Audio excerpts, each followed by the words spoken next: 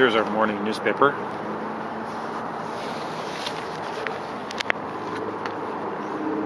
Let's see the morning newspaper.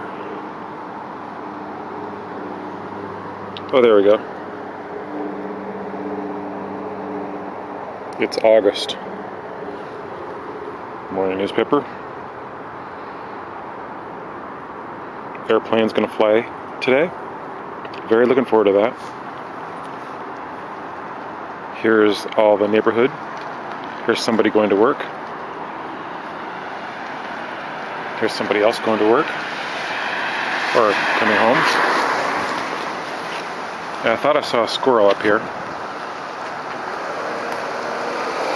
There was a squirrel earlier. There you go. Have a good day at work. I thought I saw a squirrel earlier. I can't find where it is, but nevertheless, it's quite cold. And to show how cold it is, I set at a thermometer this morning.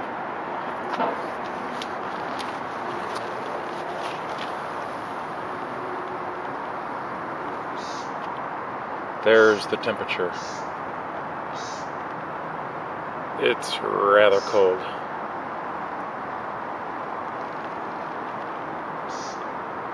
Oh, good heavens. But it's almost 8 o'clock in the morning, so um, I guess if it's 8 o'clock in the morning, then it can be that cold, maybe. Maybe it's not that odd.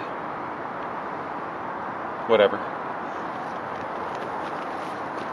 I'll have to find that squirrel. I know there's a squirrel down there. If that squirrel comes back, I'm gonna get you. Okay, that's enough for now, I guess. I just had to show how cold it was. Oh, here's somebody else going to work. Okay, I'll lock out on that.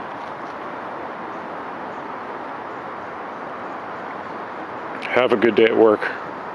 Greetings from Seattle.